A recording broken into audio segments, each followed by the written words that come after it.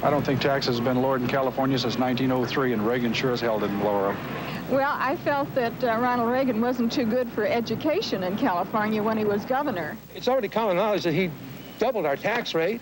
He made a lot of statements about cutting back spending. He really never did. He made a lot of statements about reforming welfare. Well, Ronald Reagan is talking these days about his record as governor of California. Influenced by the extreme right wing. But many Californians remember it differently. I don't think Reagan showed enough compassion for the people of California. What he did with the mental hospitals is a crime. Reducing government. He didn't do a very good job of reducing government in California. And I don't know what he did for the state at all. I don't know of anything he did for the state. When it comes to a choice, I'll take Jimmy Carter. I really have agreed with his stands. I've written more letters to him saying hooray for you than anybody else that's been president since I've been able to vote. I voted for President Carter in the primary. I voted for him four years ago, and I'll vote for him again. On November 4th, re-elect President Carter.